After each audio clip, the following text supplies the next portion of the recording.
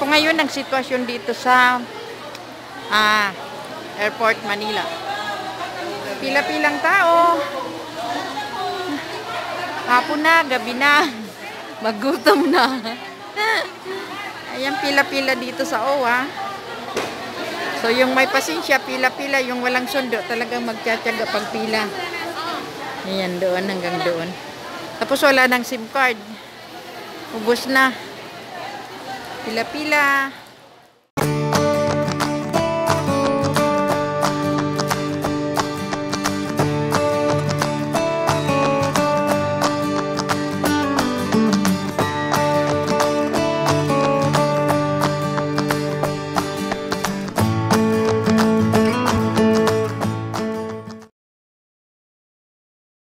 Hello everyone, mga kamamsi.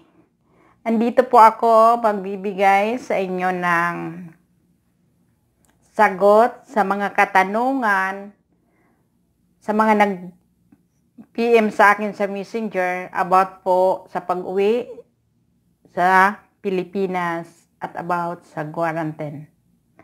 Uh, una po, ako din po ay galing ng Taiwan. Taiwan OFW. Sa ngayon po ay, bali umuwi ako nung Pizza 3C via Taoyuan International Airport. Sa Taoyuan, Taoyuan naman po, guys, smooth lang po, walang problema. Wala po tayong problema doon. Bali, ang nababiyahe doon is China Air and Eva Air. Wala pong problema doon. Maano, silensyo, wala tayong ipag-alala.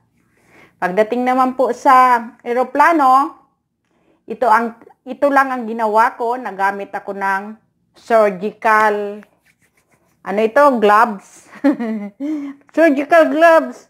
And then nagamit ako ng face ng surgical mask. N95 ang ginamit ko tapos nag-sunglass. Pero yung iba po guys, ay siyempre nag-iingat talaga tayo, nag-iingat. Kasi hindi natin kilala ang ating kalaban. hindi natin kilala ang ating kalaban, guys. So, hindi ko na po babanggitin yung kasi minsan napapalo kami ni Lolo YouTube about sa ano na to, pandemic.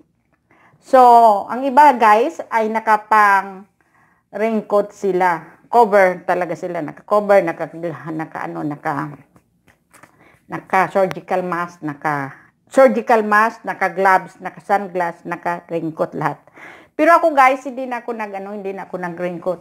Bali nag gloves na lang ako naggamit ng N95 pagkatapos nag sunglass. Tapos ang ginawa ko po ay hindi ako uminom ng tubig or kumain sa loob ng eroplano. Kahit po pag punta sa CR, hindi po ako, hindi ko po yung ginawa. Kasi yun naman po ang sabi sa akin ng mga anak ng aking dating alaga, na ganun daw, iwasan daw ang ganun. No touching, touching daw. No touching, touching daw sa eroplano kahit saan. So, hindi ko yung ginawa. Uh, so, smooth po, smooth po, smooth po tayo doon sa atin airport sa Taoyuan International Airport. Pagdating naman po ng Maynila, ito po, uh, siyempre pagdating ng Maynila, halo-halo na po yung ating emosyon. May stress, kung makakauwi ba sa bahay, or hindi. May stress, or excited na na makauwi. Siyempre, ganun, ganun ang feelings natin ngayon. Hindi kagaya noon na pag-uwi tayo, talagang pagbaba ng airport, hindi tayo stress excitement ang ating nararamdaman kasi diretso tayong makakauwi sa ating pamilya o kamag-anak. Yun po. Ang una po, isasagutin ko yung nag-PPM sa akin kung may sasalubong ba na taga-OWA pagdating upon arrival natin sa Manila, Ninoy Aquino International Airport. Dito sa airport natin sa Manila. Pinahaba ko pa talaga. So, ang masasabi ko lang guys ay wala pong sabing sasalubong sa atin na taga-OWA. Ang ano po, gaynawa po na, natin, kasi kung sasalubungin tayo ng mga taga-OWA, ay hindi naman po siguro ano nila kasi masyadong marami kami noon nung dumating kami. Masyadong marami talaga. Dalawang eroplano noon ang dumating that time ng Pizza 13 galing Taiwan. So, hindi naman po tayo sasalubungin kasi siyempre hindi makakayanan ng taga-OWA kung sasalubungin tayo. So, ang ginawa, ang mga taga ang mga OFW lahat ng lahat ng dumating may taga Singapore, Qatar, uh, may mga seafarer. Itong kasama ko taga Singapore ito. Hala, ay ano, Qatar siya galing. Uh, bali nagpunta po kami sa OWADES. Nasa left side po 'yon. Pag galing po natin pagkuha ng ating bagahe, Bali, nasa left side po natin yon. Bali, mag-inquire lang po tayo doon, maghingi tayo ng OWA assist kung may uuwian tayo dito sa Pilipinas, kung ano ang propiso na proseso pagdating sa airport at lalabas tayo ng so, north at south. So, yung may uuwian po, ang gawin natin ay, bali, kailan po natin may ID tayo talaga bukod sa passport, sa ticket natin hawak, may ID tayo at may certification tayo or ID na ipapakita sa mga frontliners, sa mga nag, sa mga mga nag-aabang doon, nakaabang sa mga kung saan tayo party pupunta. Bali, may certification daw or ID na nagpapatunay, magpapatunay na tayo ay talagang taga doon sa lugar na yon. Yan. Pagkatapos, sa may susundo po ito, dapat isend po natin, magpicture po tayo, isend po natin sa ating taga-sundo ang copy ng passport, copy ng ticket, ID. O yun. So, kung ID ng ano ID ko ID yun nga yung certificate ID nga na yung patunay na taga doon tayo sa lugar na yun. Pagkatapos yun din ang gagawin ng taga-sundo sa atin o isa lang ang susundo sa atin. So, bali, sila din, ipapakita din nila yung sinend na information sa atin, natin, ipapakita din nila yon sa mga checkpoint. So, ito na. Pagdating po natin ng airport, yung sa, susundo ito ha, kasi may nagtanong about sa taga-sundo. Yung susundo po natin, ay hindi sila makakapasok sa loob ng airport. Kahit po naman noon, noon pa, di ba, hindi naman pwedeng pumasok ang sundo. Doon lang talaga sa waiting area, mag-aantay ang susundo sa atin. Kahit noon pa yun naman talaga hindi pwedeng pumasok basta. Makakapasok doon na sa may waiting area baga may gate o pwede hanggang doon. Pero yung papasok tayo sa airport, yung taga-sundo, hindi po yun. Kahit noon pa yun ang napapansin ko kahit noon pa. O, ito ngayon ha. So, bali yung uuwi, may uuwian po. Parang ang taga-uwa po, hihingi po tayo sa kanila ng clearance na pwede tayong pumasok o pumasok or mag-exit from Manila papunta sa lugar na uwian natin. Yun po. About sa taxi po, meron naman po taxi doon na nag-aantay. Kaso lang, hehe, para ng bulsa. At mahal ang bayad. Mahal ang bayad ng taxi. May bus naman po, pero tiyaga lang po tayo pag-antay kung anong oras darating ang bus. Sinasabi naman yun ng taga-OWA na to Dao or to Turbina. Papuntang Laguna yun doon. Turbina ang baba. Dito naman sa kabila is papuntang Dao. Yung papuntang Pangasinan, Ilocos, ganun yata. So, free naman po yun. Wala pong bayad. Ah, ito naman po, about naman po sa walang uuwian dito sa Maynila. Kagaya ko. So, pagdating po ng airport, bali, sinabi ko po sa taga-OWA na ako'y walang uuwian dito sa Maynila. So, kailangan ko ang kanilang ano, tulong. Nagpa-OWA assess talaga ako. Ah, uh, bali, naglista po kami ng aming mga pangalan, yung walang uuwi, naglista po kami ng aming pangalan at nagantay po kami ng, dumating kami is, wala pang alas 4 from Taiwan, ho, wala pang alas 4, sobra pala, alas 3. Kasi 1.30 ang flight ko. So, 2 hours, type, uh, Taoyuan to Maynila is 2 hours. So, pagdating po na, namin doon, pagdating ko po doon sa OWA, sinabi ko po na wala akong uuwian sa Maynila. So, pinapirma po nila ang pangalan ko, contact number, kahit contact number ng, kung wala, siyempre wala pa tayong SIM card ng Pilipinas. So, ang ginawa ko, ang sa anak ko na phone number, yun ang nilagay ko doon. O yun. At, at saka address natin sa Pilipinas, kung saan tayo. O yun lang po. Pagkatapos, yun nga lang po guys, magantay tayo, magtiyaga tayo pag-antay kung anong oras tayo maiihahatid sa tutuluyan natin. So, bali, nakaalis yata kami, alas 8 or sobra na alas 8 yon na nakasakay kami ng bus. Papuntang, at ito guys ha, maswerte lang kami. Kasi, napunta kami sa hotel. Ito po guys. Napunta kami sa hotel, ayan. So, medyo maswerte tayo at hotel ang napaglagyan namin dito sa Santa Cruz. So, bali hinatid kami dito, tapos ganoon, ah, sa isang kwarto po dito sa sa Vista, is sa isang kwarto dalawang tao lang. Mm.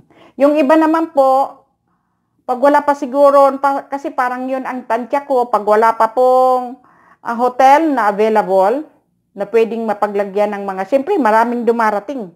May mga galing pa sa may mga seafarers, may galing sa Kuwait kung saan saan. So, yung iba po, napunta sa, yun ang pagkakalam ko sa mga nag-message sa akin, ay napunta sila sa Tugu ship sa may pier pa, pier pa, pier po yon. so sabi nila, bini, nagbibili din sila ng tubig. Upo kami din po dito sa hotel, bumili din kami ng sarili naming tubig kasi syempre, kailangan din natin uminom ng uminom ng tubig pati ibang pagkain namin, bumili din kami.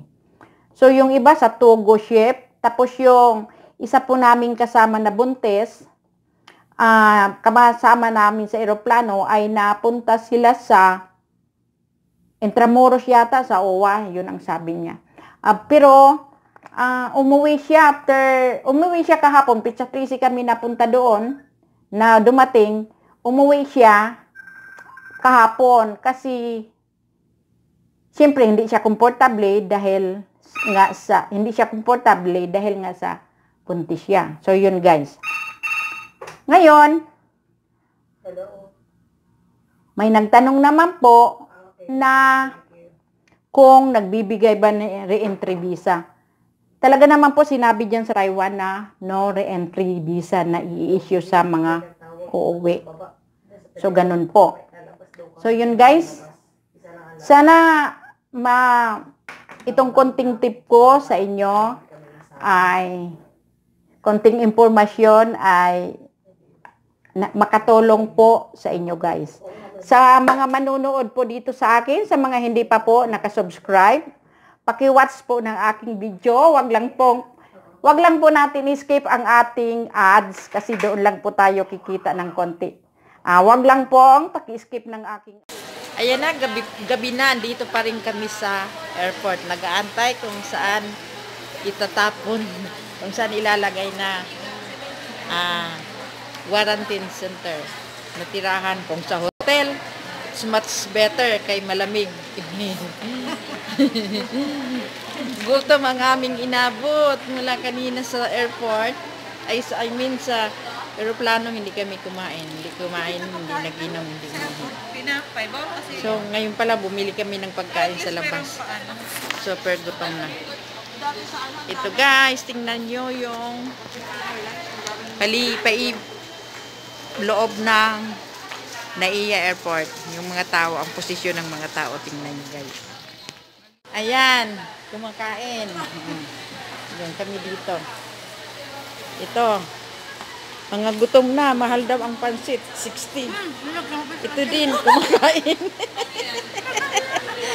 Ala, cowboy na lang kami. Ito, ang mga posisyon namin dito. Habang kami nag-aantay ng ah, dadalhin kami kung saan ano area kaming makikituloy. Ayan, nakasalampak sa sahing. Yan sila. Ayan, ang posisyon. Malinis ang airport. Walang gaano tao. Ayan po. Sa loob walang tao. pagbibili ng pagkain sa labas, bali may at bilhan ka man tapos pagpasok papak pagbalik ka ng pwesto mo dito sa loob ng airport dadaan ka ng mesh tent ayan tingnan natin ang mga posisyon ng mga tao Mm. yun sa loob no pips Ayan. ang posisyon ayan ang posisyon nila Ayan, mga pagod. Pagod na sa biyahe, pagod pa dito sa kaantay. Yan ang posisyon nila. Yan, tingnan mo. Nakapang salampak. Ayan. Hanggang doon. Malinis ang airport. Ayan. Umpuk-umpukan.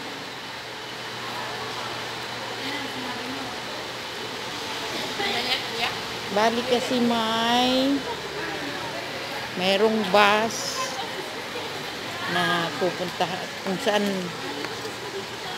mga northbound, southbound, yung pwede maabot ng bus, may susundo, pwede.